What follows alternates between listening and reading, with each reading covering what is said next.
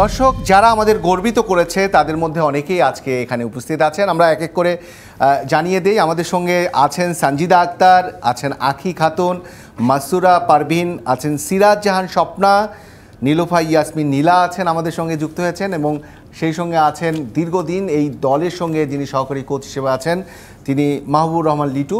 আমরা যেটি বলছিলাম যে আড্ডা দিই আমরা এই আয়োজনে এবং সেই আড্ডায় আপনাদেরকে পেয়ে আমরাও আনন্দিত এবং গর্বিত। আমরা শুরু করতে চাই ছোট্ট করে আগে লিটু ভাই আপনাকে দিয়ে শুরু করতে চাই, যে আপনারা যখন সাফের ফাইনালে উঠলেন তখন তো মনে হলো যে সাফের ফাইনাল, সেই অংশটাই, যে সাফের ফাইনাল জেতার পরে, ঠিক সেই মুহূর্তে কি মনে হলো যে এতদিন ধরে যে পরিশ্রম করছেন, এটাকেই কি আপনি মনে করবেন যে এই পরিশ্রমের ফলটা এটাই সর্বোচ্চ ফল এবং এটা পেতে শুরু করেছে বাংলাদেশ? আসলে আমি এটার একটু পিছনের দিকে যাব। আপনারা জানেন যে আমরা আন্ডার সিক্সটিন যে সময় ঢাকায় আমরা কোয়ালিফাই করি সেই সময় আমাদের মাননীয় প্রেসিডেন্ট সালাউদ্দিন ভাই, উনি উপলব্ধি করতে পারছিলেন যে এই টিমটা যদি একসাথে রাখা হয়, তো ও এই টিমটা একটা ভালো একটা রেজাল্ট দিবে। সেটারই প্রতিফলন আমাদের এই ছয় বছর আমরা এলিট ক্যাম্প করেছি। আপনারা জানেন যে ফুটবল ফেডারেশনের উপরে। ওই একসাথে থাকাতে এবং প্র্যাকটিস করাতে এই টিমটা একটা পরিণত টিম হিসাবে গড়ে উঠেছে। এবং আমরা যে সময় এবার প্রেস কনফারেন্স করেছি সেই সেই জায়গায় কিন্তু আমরা বলেছি যে এবার আমরা ফাইনালে যাব। কেন আপনারা জানেন যে আমাদের এই মেয়েরা কিন্তু খুব অল্প বয়স ছিল আগে। মানে ওরা এজ লেভেলে খেলতো। এখন আপনাদের এভারেজে এক একজনের উনিশ বিশ হয়েছে। তো আমাদের সালাউদ্দিন ভাই বলছিল যে টার্গেট দিয়েছিল যে পঁচিশ সালে এই টিমটা ভালো করবে। তো আমরা আসলে এই টিমটাকে মানে আমাদের এই সদস্যকে আমি আসলে কোচ হিসাবে সেলুট জানাই। তিন বছর আগেই তারা একটা বড় সাকসেস এনে দিয়েছে। সাকসেস এনে দিয়েছে। আর ওরা সত্যিকার অর্থে এরকম কমিটমেন্ট ছিল যে আমরা একটা কিছু করব। এবং আমরা প্রতিদিনই কিন্তু ওদের সাথে টিম মিটিং করতাম। এবং আমাদের টিম মিটিংয়ের পরে কিন্তু আমাদের ক্যাপ্টেন যে সাবিনা খাতুন। সাবিনা খাতুনও ওদের দশ মিনিট নিয়ে বসতো। তো এইবার বন্ডিংটা খুব ভালো ছিল এবং মেয়েরাও একটা কিছু যে করবে, তা আমরা কিন্তু আগে আমি আর ছোটন বলতাম যে ভালো কিছু করবে। কিন্তু এবার প্রেস কনফারেন্সে খুব জোর গলায় বলে গেছি আমরা। ফাইনালে খেলব. তো ওদের আসলে আমরা নিজেরাই দেখছি ওদের কনফিডেন্স লেভেলটা অনেক হাই ছিল। ওকে আমরা দেখছি নীলা এবং সঞ্জিদা দুইজন দুপাশে। মানে কাকে দিয়ে শুরু করব আমি জানি না আরও তিনজন আছেন। আমরা সঞ্জিদা। ওকে সঞ্জিদা দিয়ে শুরু করি। সঞ্জিদা এই যেটি বলতে হয় যে এই সাব জয়ের তো অবশ্যই ছ বছরের একসাথে থেকে তো এই ছ বছরের বন্ডিংয়ে মানে এখন যে দলের অবস্থা, দলের অবস্থাটা একটু জানতে চাই। যেটা তিন বছর পরে সাপ মানে সাপের সভাপতি বিএফএফ সভাপতি মনে করেছিলেন যে সাকসেসটা আসবে, সেটা তিন বছর আগে। যেটা সেলুট জানালো কোচ তো সেই জায়গায় মানে দলের বন্ডিংয়ের কারণেই তো এটা হয়েছে। মানে আপনাদের নিজের আত্মবিশ্বাসের জায়গাটা এখন কি মনে হয়? যে এখন আপনারা আসলেই সেই লেভেলে গেছেন? আসলে স্যাররা মনে করছিল যে হচ্ছে আমরা আরও দুই বছর পরে বা তিন বছর পরে এরকম মানে একটা রেজাল্ট আমরা তাদেরকে এনে দিতে পারব। কিন্তু আমরা তার আগে তাদেরকে এনে দিচ্ছি। তো আমরা চেষ্টা করব এখন আমরা যেটা এনে দিচ্ছি সেটা ধরে রাখার আর ভালো কিছু করে আর সানজিদা প্রসঙ্গ আসতেই আমার কাছে মনে পড়ল যে ফাইনালে ওঠার পর আমরা তো বললাম যে আড্ডা দিব। ফাইনালে ওঠার পর যেটি আমরা সানজিদার ভেরিফাইড যে ফেসবুক পেজ সেটিতে লেখা ছিল, আমরা একটু পড়ে শোনাতে চাই। যারা আমাদের করেছে যেটি লেখা ছিল ছাদখোলা চ্যাম্পিয়ন বাসে ট্রফি নিয়ে না দাঁড়ালেও চলবে।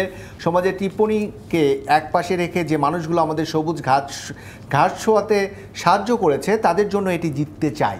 এটি অনেক বড় একটা কথা যেটা ইন্সপায়ার করে স্পিড আনে দলের। সঞ্জিতা এটা কীভাবে মানে এই স্ট্যাটাসের পেছনের গল্প কি বলা যায় নাকি? আসলে মানে আরও অনেক লম্বা কথা ছিল এটা আমি মাঝখান থেকে উল্লেখ করেছি। হ্যাঁ এটা হচ্ছে যারা আমাদের মানে সাপোর্ট করতো। আমাদের হচ্ছে প্রথমে যখন আমরা খেলা শুরু করি তো অনেকে আমাদের অনেক কটু কথা কইতো। এক্স্যাক্টলি হ্যাঁ তারপরে হচ্ছে মানে তারপরেও যারা আমাদের সাপোর্ট করছে আমাদের মানে আর্থিকভাবে সহযোগিতা করতো আমাদের খেলার জন্য। অর্থাৎ যেটা মিন করেছেন খেলার সহযোগিতা করেছে হ্যাঁ খেলতে। তারপরে হচ্ছে আমাকে যে মানে যার হাত ধরে আমি প্রথম খেলার মাঠে নামি আমি সবার উদ্দেশ্যে এই কথাটা বলছি যারা আমাকে অনেক সাপোর্ট করে ফুটবলকে অনেক সাপোর্ট করে। তাদের জন্য আমি জিততে চাই নাকি ম্যাচ কিন্তু এই মেসেজটা কি আপনাদের সবার মধ্যেই মনে হয় ছিল? মানে আমি যদি স্বপ্নাকে বলি এই মেসেজ কি আপনাদের মধ্যেও ছিল কিনা? যে এই টিপ্পনি করা কি করছে এখনকার মেয়েরা? সেটা যখন ফাইনালে উঠলেন এই মেসেজটা মনে হয় সবার মধ্যে একটা প্রভাব কাজ করেছে যে আমাদের সাকসেসটা দরকার আমাদের ট্রফিটা দরকার। এরকম কিছু মনে হয়েছে? এটা তো আসলে বরাবরই মনে হয় যে যেহেতু আমরা বলে গেছি যে আমরা ফাইনালে উঠবো তো সেক্ষেত্রে তো একটা আলাদা একটা ফিলিংস কাজ করছিল যে না জিততে হবে চ্যাম্পিয়ন হইতে হবে। কারণ যেহেতু আমাদের সিনিয়র লেভেলে কোনো রেজাল্ট নাই আমরা যা রেজাল্ট করছি সেগুলো হচ্ছে এস লেভেলে তো বরাবরই এরকম একটা প্রশ্নের সম্মুখীন হইতে হয়েছে আমাদের যে আমরা জুনিয়র লেভেলে ভালো করি বা সিনিয়র লেভেলে কোনো রেজাল্ট নাই। তো সেটা কবে আসবে?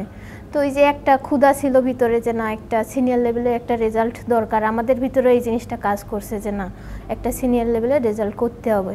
তো এই যে একটা ফিলিংস থেকে যে একটা আবেগ থেকে, এটাই আসলে মানে একটা ভিতরে কাজ করছে এবং সেখান থেকেই আসলে আমাদের ফাইনালে সবাই সবার হান্ড্রেডটা দিয়ে খেলা আর কি। ওকে নীলার কাছে জানতে চাইব যে যখন আমরা জিতলাম ফাইনালে মানে ফাইনালে জেতার পরে মানে তখন কি ধরনের মানে নিজের মনের ভত- ভেতরে কি ধরনের ইয়ে হচ্ছে? বা প্রথম উইশটা কে করেছে বাংলাদেশ থেকে? আপনি কোনো, প্রথম কার সঙ্গে কথা হয়েছে? হচ্ছে মাঠে আমরা যখন জিতলাম শেষ বাসি বাজলো তো তখন তো আমরা আপনারা সবাই তো ভিডিও দেখছেন আমরা সবাই একসাথে মাঠে যে অনেক ইয়ে করছিলাম আবার অনেক সময় বিশ্বাসই হচ্ছিল না যে আসলে আমরা করতে পারছি। সবাই সবাই প্রশ্ন করতেছিলাম মাঠের মাঝখানে যে আমরা আসলে জিততে পারছি নাকি আমাদের ফাইনাল খেলা কালকে? মানে আবার খেলা আছে? আবার খেলা আছে। এটা এটা অনেকেই আমাকে প্রশ্ন করছে আমি আবার করছি যে না আমারও মনে হচ্ছে না যে আমরা জিততে পারছি আমাদের মনে হয় কালকে আবার ফাইনাল খেলা। আর রুমে আসার পরে প্রথমে আমি আম্মুর সাথেই কথা বলছি। আম্মু আমারে খেলা শেষ হওয়ার পরেই আমারে মেসেজ দিয়েছিল। তো রুমে যাওয়ার পরে ফ্রেশ হয়ে আম্মুর সাথেই প্রথম কথা বলছি। আম্মু অনেক খুশি হয়েছে এগুলো বলতেছিল আর কি। খেলা দেখছে এগুলো বলছিল। একই প্রশ্ন আখি আপনার কাছেও যে মানে খেলা শেষের পরে যেটি বলছিল নীলা আপনারও কি এরকম মনে হচ্ছিল কিনা? পাশাপাশি প্রথম উইশটা কার কাছ থেকে পেলেন? আসলে আমরা তো হচ্ছে মাঠে যখন ছিলাম মেডেল এগুলো নেওয়ার পরে ফটো সেশন করে যখন আমরা আমাদের কাছে যেহেতু ফোন থাকে না তো মাঠে হচ্ছে এনজয় করি। আমরা যখন হোটেলে আসি ম্যাডামের কাছ থেকে ফোন নিয়ে তখন ফ্যামিলিকে ভিডিও ফোন দিয়ে আগে মেডেলটা দেখাই যে আমরা চ্যাম্পিয়ন হয়েছি তো বাসায় সবাই অনেক মানে আনন্দ মানে আনন্দ এনজয় করছে। তো সবাই খেলা দেখছে। তো ফ্যামিলির সাথে আগে প্রথম কথা হয়েছে। মানে কোনো স্পেশাল কোনো কথা হয়েছে এরকম কিছু? মানে ফ্যামিলির সাথে হয় না যে আমরা কিন্তু জিতে গেছি মানে যেটি যে পাশের লোকগুলো এরকম ই করতো টিপ্পনি কাটতো কি করো না করো এরকম কোনো কথা হয়েছে? যে ওই- লোকটারে শোনায় দিও আমরা কিন্তু ট্রফিটা নিয়ে এসেছি এরকম কোনো কথা? ওইটা তো হচ্ছে যখন শেষবাসী বাজছে এ, তখনই সবাই জবাব পেয়ে গেছে যে আমরা আসলে করতে পারি যে মেয়েরা হচ্ছে পারে। আর যারা আসলে কটু কথা বলতো মানে আমাদের মানে বিরোধিতা করতো তারা আসলে রেজাল্টে মানে শেষবাসী বাজার সাথে সাথে জবাবটা পেয়ে গেছে। তো হচ্ছে ফ্যামিলির সাথেই প্রথম কথা হয়েছে আর মেডেলটা দেখানোর পরে সবাই খুশি হয়েছে চ্যাম্পিয়ন মেডেলটা আপনি দেখানোর পরে। মাসুরের কাছ থেকে জানতে চাই যে লাইক যখন ওই চ্যাম্পিয়নটা হলেন ট্রফি পেলেন তারপরে বাসে করে যখন ব্যাক করছেন সেই আনন্দঘন আমরা দেখেছি? চিয়ার করা নিজেদের চিল্লাচিল্লি করা উল্লাস করা। এই যে বিষয়গুলো চলতে থাকল সেখানে কে সবচেয়ে বেশি মানে মনে হলো যে সেই সবাইকে চিয়ার আপ করে রেখেছিল? মানে সবাই হয়তো আনন্দিত তার মধ্যে আছে না যে টিমমেট হিসেবে সে বেশি ই করে? এই এই গল্পটা জানতে চাই যে হ্যাঁ, আমাদের ভিতরে এরকম হচ্ছে মারিয়া সাজেদা। ওকে ওরা খুবই মানে হচ্ছে বাসেও নাচ গান করছে. ইভেন হচ্ছে রুমে যেও। সেখানে আপনারা দেখছেন হয়তো ভিডিওতে যে হোটেলে হচ্ছে আমরা চ্যাম্পিয়ন হয়ে যাওয়ার পরে ওখানে হচ্ছে আপনার একটা কেক কাটার অনুষ্ঠান করছিল। তো ওখানে কিন্তু ওরা কালো চশমা পরে নাচ গান করছে পলসারও ছিল। তো এরাই আর কি খুবই এনজয় করে। মানে অনেক সময় মানে আমরা জানি যে অভিভাবকদের ভিড় বাড়লে সাধারণত চাপ বাড়ে। যেটি আপনাদের মানে অভিভাবক বলেছেন কাইস সালাউদ্দিন কেন যাননি ফাইনালের আগে, ফাইনাল ম্যাচটা দেখতে? তিনি ব্যাখ্যায় বলেছেন যে, আমি গেলে সম্ভবত যে রিদমে আছে, চাপটা বেড়ে যাবে। তো আসলে কি আপনার চাপ বেড়ে যায় নাকি আসলে এটা ইন্সপায়ার্ড হন মানে অভিভাবকদের উপস্থিতিতে? আমার মনে হয় যে ফাইনালে যদি উনি যাইতো তো আমাদের আগ্রহটা আরও মানে আমাদের এক্সট্রা যে এনার্জিটা আরও বেড়ে যাইতো। কারণ হচ্ছে ওখানে হচ্ছে গ্যালারি ভরা দর্শক ছিল। তো ওর মাঝে কিন্তু আমাদের দর্শক খুবই কম ছিল। তো আমরা ভাবছিলাম ওগুলোই আমাদের দর্শক। তো সেখানে যদি স্যার উপস্থিত হইতেন তো আমাদের কাছে আরও মানে ভালো লাগতো আর কি। আমরা চাইছিলাম ওনাকেও।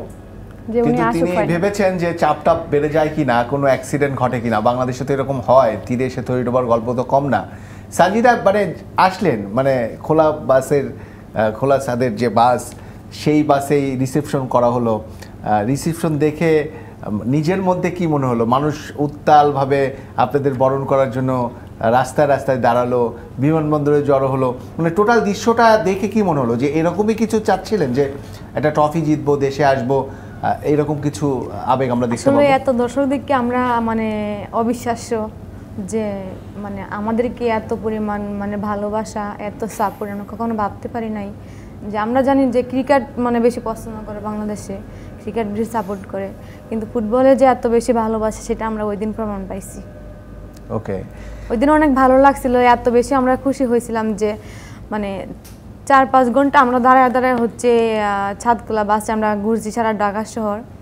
কিন্তু আমাদের মানে বাসের আপনাদের চারপাশে ছিল ক্লান্ত মনে হয়নি? মানে ক্লান্তি আসেনি? না, ক্লান্ত মনে হলে ওটা- মিনিট লেগেছিল বিমানবন্দর থেকে মতিঝিল যেতে। সেক্ষেত্রে কোনো ক্লান্তি বোধ করেছিলেন? একে তো জার্নি আসলে যে ক্লান্তি বোধ আমরা মানে মনে করব যে সেটা কখনোই একজন টিমমেট তো মাথা ফাটিয়ে গেল। মানে হ্যাঁ, ফেটে গেল। সেটা হলো যে ঢাকার চিত্র তো এটাই যে খোলা সাথে তো আসলে সমস্যা। আপনারা সম্ভবত একটু সাবধানে ছিলেন যে কারণে আপনাদের ফাটেনি। আসলে ও হচ্ছে একদম সাইডে ছিল তো ও খেয়াল করে নাই যে ও অন্যদিকে তাকায় ছিল হঠাৎ করে ওটা সামনে আসে পড়ছে বাড়ি গাইছে আর কি।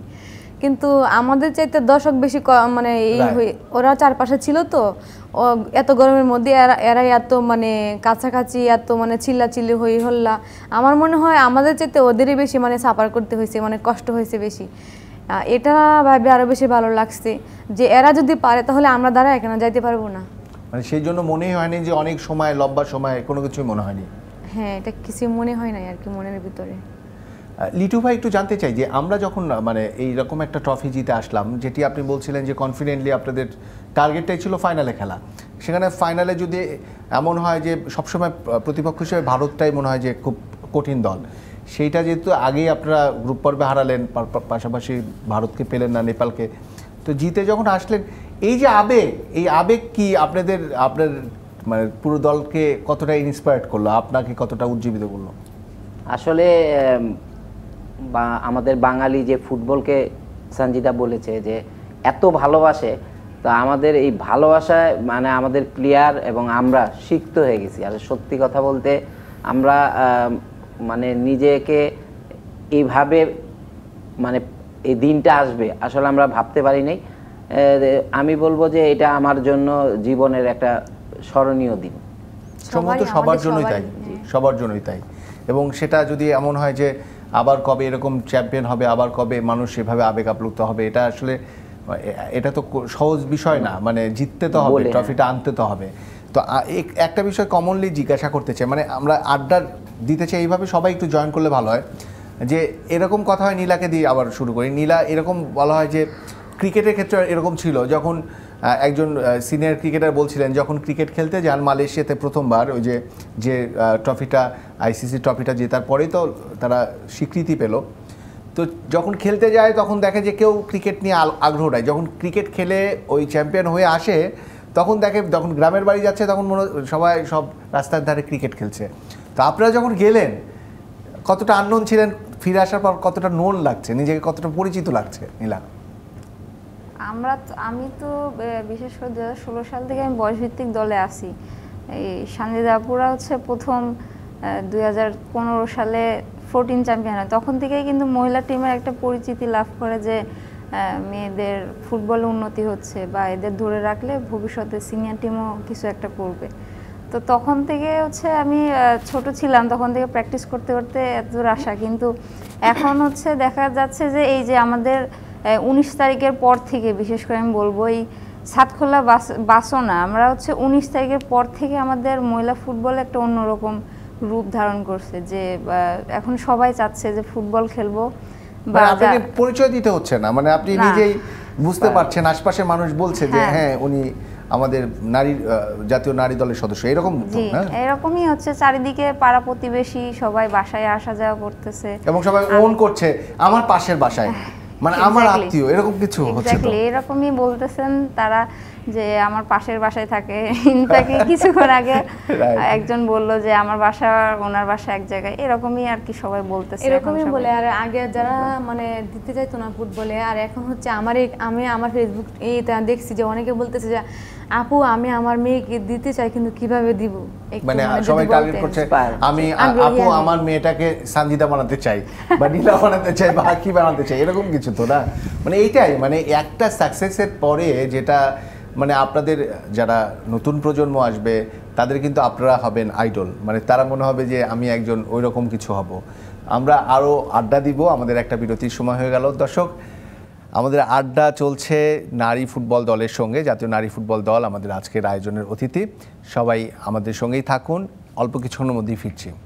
ফাইনালে আঠা ওঠার আগে এক গোলও খায়নি এবং ফাইনালে অর্থাৎ চ্যাম্পিয়ন হওয়ার পরে তেইশটা গোল দিয়েছে অন্য প্রতিপক্ষের জালে, মাত্র নিজেদের জালে গোল, অর্থাৎ গোল খেয়েছে একটি। সেই দল বাংলাদেশ এবং এবার সাবজয়ী যে বাংলাদেশ নারী দল, সেই দলের পরিসংখ্যান তাই বলছে। দর্শক, আপনারা দেখছেন ম্যাক্স গ্রুপ নিবেদিত খেলার আড্ডা অনুষ্ঠান এবং এই সাবজয়ী স্বর্ণকন্যারাই আজকের অতিথি। আমরা বিরতিতে ছিলাম, বিরতির পরে আমরা দর্শক যুক্ত করতে চাই বাংলাদেশ ফুটবল ফেডারেশনের নারী উইংসের chairman, FIFA executive Mahfuz Akter কিরণকে আমরা পেয়েছি। আমরা সংযুক্ত করতে চাই। মাহফুজ আক্তার কিরণ, আপনাকে স্বাগত জানাচ্ছি খেলার আড্ডা অনুষ্ঠান থেকে। আমার কথা আপনি শুনতে পাচ্ছেন, আপনার কথা শুনতে একটু কষ্ট হচ্ছে। আপনাকে অভিবাদন জানাই। আপনার মানে টিমের পাঁচজন আমরা পেয়েছি। সঙ্গে সহকারী কোচ লিটু ভাই আমাদের সঙ্গে আছেন এবং আপনি এই টিমের সর্বোচ্চ অভিভাবক। আপনাকে অভিনন্দন অভিবাদন জানাই এবং পাশাপাশি জানাই এবং একটি প্রশ্ন জানাতে চাই। আমরা সংযোগ আমরা মাহফুজ আক্তার কিরণকে মিস করছি। সম্ভবত কারিগরি ত্রুটির কারণে আমরা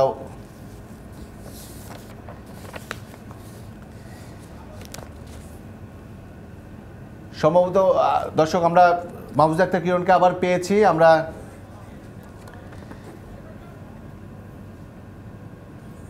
কিরণ আপা, আমরা সরাসরি প্রশ্নে যাই। যেটি হলো যে আমাদের শুরুতে আমাদের লিটু ভাই সহকারী কোচ বলছিলেন যেটি আমাদেরও পর্যবেক্ষণ, যে আমাদের দলটা এজ লেভেলে ভারতের মতো শক্তিশালী প্রতিপক্ষকে হেসে খেলে বয়ে, বলে, কয়ে হারা, হারাতে পারতো। কিন্তু জাতীয় দলে বাংলাদেশ তেমনটা ভালো করতো না। যখন জাতীয় দলে, অর্থাৎ আমাদের টিমের এজ লেভেলটা ধীরে ধীরে পরিপক্ক হচ্ছে সেই সময়। এখন কি আমরা সেই জায়গায় চলে গিয়েছি কি না যে আমরা এজ লেভেলের দলটা একটা ম্যাচিউর জায়গায় পরিণত হয়েছে কি না সেটি আপনার কাছ থেকে জানতে চাই। যেটি সাপে আমরা দেখলাম যে ভারতকে তিন শূন্য গোলে উড়িয়ে দিল ভুটানকে তো মানে আট শূন্য গোলে, পাকিস্তানকে ছয় শূন্য গোলে মানে গোলের হিসাব করতে হয়। তেইশটা গোল দিয়েছে বাংলাদেশ দল। সেটার মানে কি এই দাঁড়ায় যে বাংলাদেশ দলটা পরিণত হয়েছে? পরিণত হয়েছে সম্পূর্ণভাবে আমি বলব না। পরিণত হতে আরও দুই তিন বছর সময় লাগবে। তবে এখন ওরা মেন্টালি অনেক বেশি কনফিডেন্ট ছিল। আমাদের গত দুই মাস আগে আপনারা জানেন যে মালয়েশিয়ার সাথে আমাদের একটা খেলা হয়েছিল। ম্যাচ টুর্নামেন্ট ছিল, দুইটা ম্যাচ ছিল, সিরিজ। জিতেছিল মেয়েরা। সেখানে ওরা যখন প্রথম প্রথম সিনিয়র টিম হিসাবে ওরা খেলেছিল এবং সেখানে ওরা অনেক ভালো করেছিল, সেই কনফিডেন্সের জায়গা থেকে আসলে ওরা এই সাবটাকে খেলেছে এবং সেখানে তারা ওদের কনফিডেন্স লেভেলটা অনেক বেশি আপ ছিল, যে কারণে ওরা ভালো করেছে। আর যদি বয়সের কথা বলেন, বয়সের ম্যাচুরিটির কথা বলেন, আমি বলব আরও দুই তিন বছর লাগবে ওদের ম্যাচুরিটি আসতে। এখনও পুরোপুরি হয়নি। ওকে কিরণাপা আপনার এই যে টিমের যে একটা সবারই আমাদের জানা, আমাদের যে সোশ্যাল একটা অবস্থা, সামাজিক অবস্থা, সেখানে মেয়েদের, নারীদের খেলাধুলায় আসার প্রবণতা তো কম, সেখানে ফুটবলটা আরও কম। তো সেই জায়গায় আপনি যে টিমটার অভিভাবক, সেটা ফুটবল। তো ফুটবলে আপনারও তো অনেক অভিজ্ঞতা রয়েছে। এই চ্যাম্পিয়ন হয়ে আসার পরে মানুষের আবেগ দেখে কি মনে হলো? যে মানুষ একটা পরিবর্তনের জায়গায় চলে এসছে, অনেক পরিবার থেকে এখন ফুটবলার মানে ফুটবল খেলার আগ্রহ বাড়বে। আপনার আপনার উপলব্ধি কি? আপনাকে ধন্যবাদ। আমার উপলব্ধি যেটা, সেটা আমি প্রথমে ধন্যবাদ দিতে চাই মাননীয় প্রধানমন্ত্রী জননেত্রী শেখ হাসিনাকে বঙ্গমাতা করার জন্য। বঙ্গমাতা করার কারণে কিন্তু আমাদের গ্রাসরুট লেভেলের যে অ্যাওয়ারনেসটা ছিল, সেটা অনেক বেড়েছে। আর আজকে মেয়েদের এই সাপ জয়ের কারণে সেটা আরও পরিপূর্ণ রূপ লাভ করেছে। যে কারণে একদম ন্যাশন ওয়াইড সবাই সেটা জানতে পেরেছে এবং মেয়েদের মধ্যে আগ্রহ অনেক বেশি বেড়েছে, আমি মনে করি। ওকে আরেকটি প্রশ্ন সেটি হলো যে আমরা দেখলাম যে ট্রফি জয়ের পরে অর্থের আর কোনো অভাব হচ্ছে না, চারদিক থেকে অর্থ আসছে। আপনার মানে এক্সিকিউটিভ মেম্বাররা এক্সিকিউটিভ কমিটির অনেক বড় বড় সিনিয়র যারা কর্তা আছে, তারা অর্থ দিচ্ছেন, অনেক প্রতিষ্ঠান অর্থ দিচ্ছেন। এখন যেটা অর্থের অবস্থা যেটা দাঁড়াল, তাতে কি মনে হয় যে অর্থ সংকটের কারণে অন্তত নারী দলের কোনো কিছু তার সমস্যা হবে না, এরকম বলার সুযোগ এসছে? এখনও পুরোপুরি বলা যায় না। কারণ এখন যে অর্থ আসতেছে, সেটা মেয়েদেরকে পার্সোনালি দেওয়া হবে। বাট এই মেয়েদের ফুটবল রান করার জন্য আমরা এখন সাপ জিতেছি আমাদের নেক্সট স্টেপ কিন্তু অনেক বড়। এরপরে আমরা দু হাজার তেইশে আমাদের অলিম্পিক প্রি কোয়ালিফিকেশন আছে। দেন আমাদের দু হাজার চব্বিশে আবার সাপ আছে। এবং আমরা এশিয়াতে একটা ভালো অবস্থানে যেতে চাই। এই সব কিছুকে সামনে রেখে যখন আপনার টিমকে তৈরি করতে হবে, তখন অনেক বেশি এক্সপেন্সেস সেটা কিন্তু আমাদের নেই। আমরা এখনও পর্যন্ত কোনো স্পন্সরের কাছ থেকে ওই ধরনের কোনো রেসপন্স এখনও পাইনি। আমরা আশা করি অনেকে এগিয়ে আসবেন বাট এখনও আমরা পাইনি। যখন পাবো, তখন বলতে পারব। এখনও যে আমাদের আর্থিক সচ্ছলতা এসছে, এ কথা আমরা বলতে পারব না। শেষ প্রশ্ন কিরণাপা আপনি ব্যস্ত মানুষ। শেষ প্রশ্নটা এটা যে আমরা অনেক ব্যক্তিগত প্রতিশ্রুতি দেখেছি। অনেক প্রতিষ্ঠান হয়তো প্রতিশ্রুতি দিয়েছে। কিন্তু ফুটবল ফেডারেশনের কাছ থেকে আমি এখন পর্যন্ত আমার জানি না। হয়তো আমার না জানাও থাকতে পারে হয়ে থাকতে পারে যদি আপনি জেনে থাকেন বা আপনার মধ্যে দিয়ে জানাতে পারে দর্শকে। ফুটবল ফেডারেশন এই কাপ জয়ের মধ্য দিয়ে কি কোনো ঘোষণা দিয়েছে কিনা বা আপনার কমিটি কোনো ঘোষণা দিয়েছে কিনা? দেখুন ফুটবল ফেডারেশনের যে ভাইস প্রেসিডেন্ট দুইজন একজন ভাইস প্রেসিডেন্ট একজন সিনিয়র ভাইস প্রেসিডেন্ট দুইজনে ফিফটি ফিফটি করে পঞ্চাশ দিয়েছেন। ওনারা ব্যক্তিগত প্রতিষ্ঠান থেকে দিয়েছে?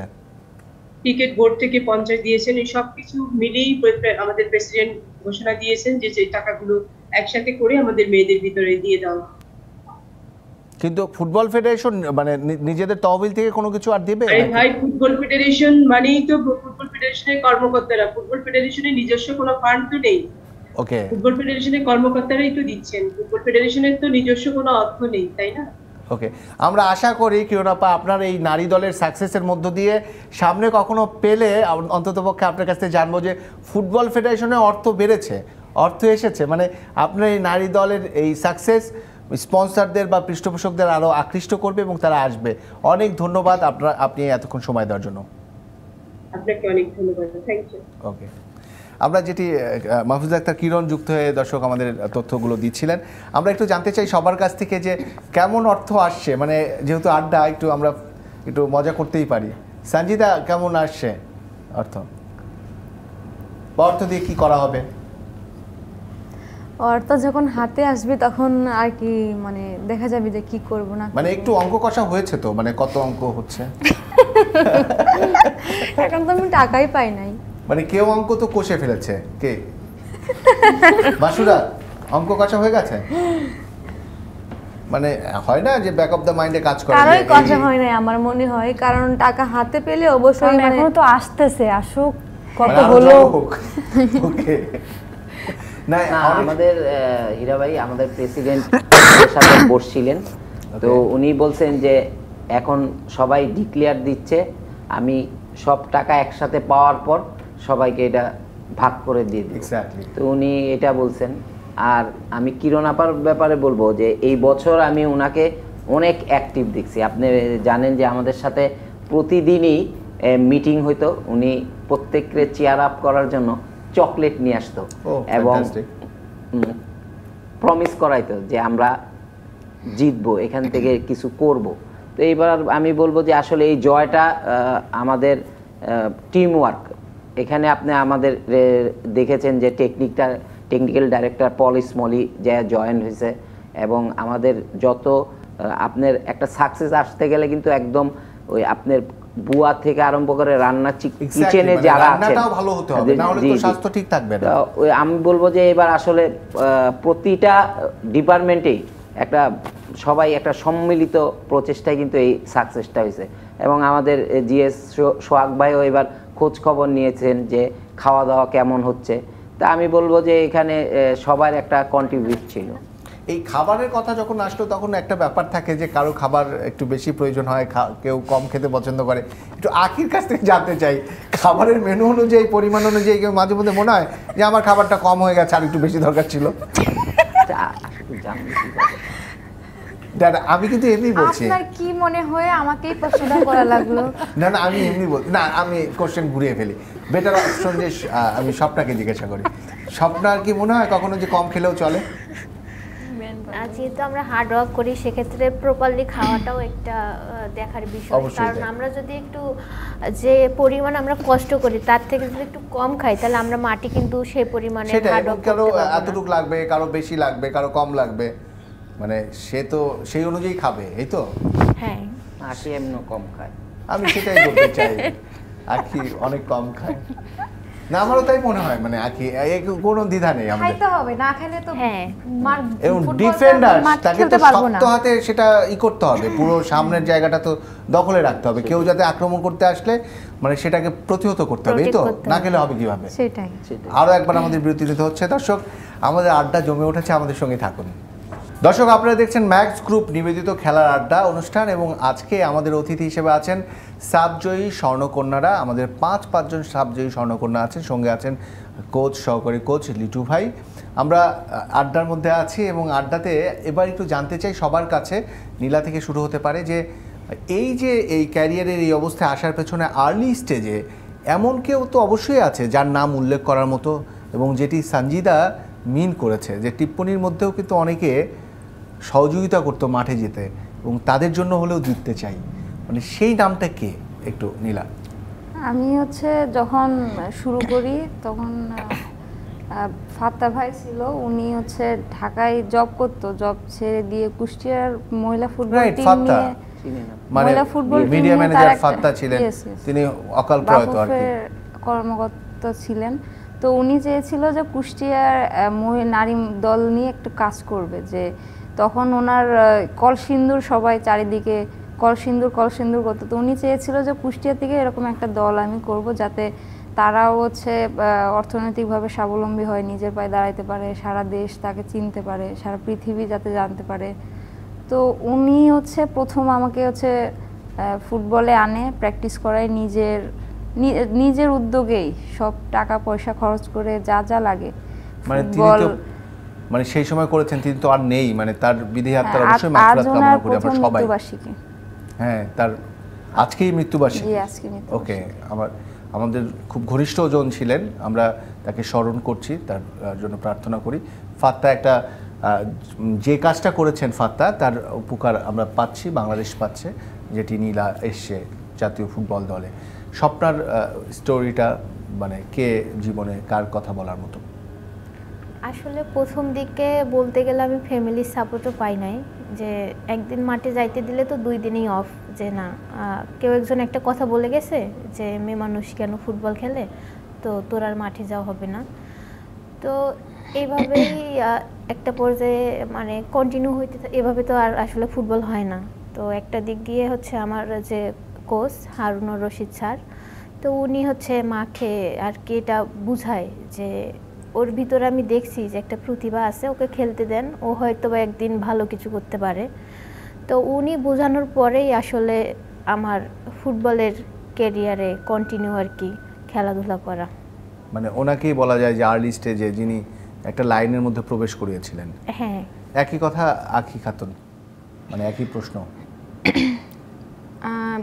আমাদের টিমে অনেকেই আছে যে ফ্যামিলি থেকে সাপোর্ট পায় না বাবা মার কাছ থেকে। কিন্তু এই দিক দিয়ে আমি খুব লাকি যে আমার ফ্যামিলি থেকে আমি সাপোর্ট পাইছি পুরোপুরি। আর আমার পেছনে একটা ব্যক্তি সেটা হচ্ছে আমার বাবা। আমার বাবা। আমার জন্য অনেক মানে কষ্ট করেছে। আমার সত্যি কথা বলতে গেলে কি যে আমার বাবাই আমাকে মানে খেলা শিখাইছে। মাঠে নিয়ে যাইতো। এমনকি যখন আমি ন্যাশনাল টিমে মানে আসি নাই তখন আমার বাবা তখন আমি ছোট ছিলাম। আহ, বাবার কাছে অতটা টাকাও ছিল না যে একটা এসি বাসে বা এসি ট্রেনে কোথাও যাব। লোকাল বাসে মানে আমাকে কোলে করে নিয়ে ওনার মানে কোলে ঘুমাইতে ঘুমাইতে চলে যাইতাম। তো বাবা আমার পেছনে অনেক কষ্ট করছে এই আমি যে আজকে এখানে আমার বাবার জন্যই। অবশ্যই। তো মাসুরার কাছ থেকে বাবা বাবা আজকে আমার শোটা দেখছেন তো বাবাকে অনেক ধন্যবাদ জানাই। অবশ্যই আমরা সবাই আখির বাবাকে অবশ্যই ধন্যবাদ। তিনি উদ্যোগী হয়েছিলেন বলেই আমরা আখিকে পেয়েছি। মাসুরা আপনার জীবনের শুরুর গল্পটা। আসলে আমার বাসা থেকে প্রথম থেকেই আমাকে সাপোর্ট করতো না। তো আমার যে স্যার ছিল আকবর স্যার উনি আজকে নাই। তো আমার আমার আজকের এই পর্যন্ত আসার পিছে সব অবদানই আমার আকবর স্যারের। তার আত্মার বিধি আত্মার মাগফিরাত কামনা করছি। আমার খেলাধুলা বন্ধ করে দিছিল আমার বাসায় এসে আমার স্যার আমার বাবা মাকে বোঝায় তারপরে থেকে আমার বাবা মা যাইতে দেয়। আর আমার শুরু থেকে হচ্ছে যত খরচ যত মানে এমন হয়েছে যে আমি এমন দিনও গেছে যে আমি ওনার বাসায় যে খাওয়া দাওয়া করছি কিংবা বাসা থেকে আমাকে নিষেধ করার কারণে আমি রাগ করে ওনার বাসায় চলে গেছি, এমনও দিন আছে। তো আজ আমার স্যার নাই, তো সবাই স্যারের জন্য দোয়া করবেন। অবশ্যই তাই, আমরা সবাই দোয়া করি, কারণ কি আমাদের গ্রেটফুল হতে হবে। আমরা যেমন আপনাদের কাছে গ্রেটফুল আপনারাও কারও কাছে গ্রেটফুল এই অবস্থায় আসতে কৃতজ্ঞ আপনারা অবশ্যই। সানজিদা, আপনার গল্পটাও যদি বলতেন যে আপনি আর্লি স্টেজে কীভাবে আসলে সবারই আমাদের বেশিরভাগ প্লেয়ার হচ্ছে ফ্যামিলি থেকে হচ্ছে মানে দিত না ফুটবল খেলার জন্য। তো আমারও এরকমই। আমার শুধু বাবু বাবা একটু সাপোর্ট করছে আর সম্পূর্ণ ফ্যামিলি সবাই না করছে। তো আমার প্রথম ফুটবল স্পর্শ করা হচ্ছে মফিজ চার আর মিনতি ম্যাডামের হাত ধরে মাঠে নামা। তারা দুজনে প্রথম ছিল কিন্তু তারপর আরও অনেকে আমাদের এখানে আসছে। আমাদের রাজীব দাদা জুয়েল ভাই তারপরে হচ্ছে আরও অনেকেই আছে। মানে অনেকেই বলতে হবে এই হ্যাঁ। জায়গায় আসার পেছনে তারা। আমাদের একদম সময় শেষ আমরা লিটু ভাই আপনার গল্প অন্যদিন শুনব আপনার টিমমেটদের কথা শুনছিলাম। আমাদের শেষ করতে হবে আমাদের টাইম একদম বাধা ধরার টাইম অনেক ধন্যবাদ আমাদেরকে সময় দেওয়ার জন্য আমাদের পক্ষ থেকে ফুলের শুভেচ্ছা আবারও। এবং অবশ্যই ডিবিসির ব্যাপারে যদি দুই একটা কথা বলার থাকে ডিবিসির দর্শকদের জন্য কোনো কিছু। ডিভিস নিউজ অনেক তোমার ধন্যবাদ কারণ হচ্ছে মানে আমরা এত বড় মানে একটা পরিবার হয়ে এখানে আসতে পেরে অনেক আনন্দিত আমরা। দর্শক এই ছিল আজকের আয়োজনে। সবাই ভালো থাকুন আর এদের সঙ্গে থাকুন ডিভিসির সঙ্গে থাকুন। শুভকামনা রইল।